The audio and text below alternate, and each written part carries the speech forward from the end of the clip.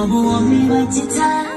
고만 사이였던 순간 어부렁지만 고만한 말라이커 이변 놈이 울고